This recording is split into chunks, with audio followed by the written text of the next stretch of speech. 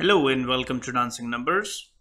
After installing and connecting Dancing Numbers with QuickBooks Desktop, we can start importing, exporting, or deleting the information as required.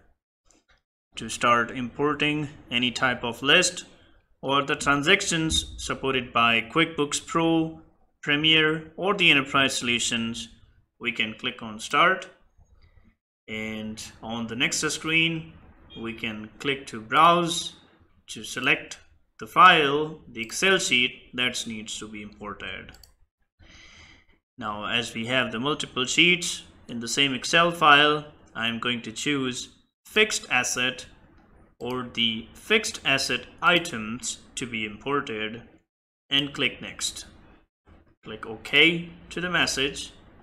Now this is the information that we have saved in the Excel sheet and we click next. The next step we have is to map or match the fields so that the information can be imported properly.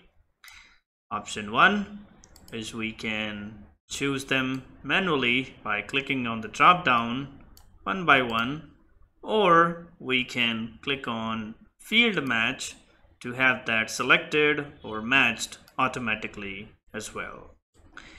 Now if you would like to save this mapping, you can click on save as or you can click on load map if you already have an existing mapping saved.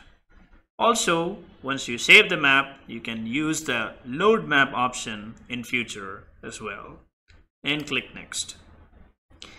Now, this information is now ready to be imported and we click next. Now the next screen is a checkpoint to make sure there is no missing information, there's nothing new which we do not have in your QuickBooks company file yet. And we click on import file and click OK.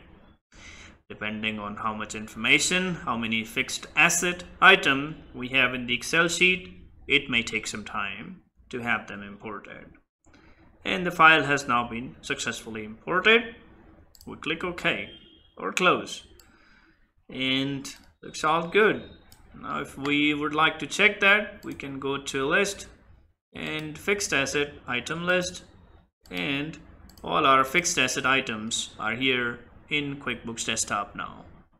Thank you.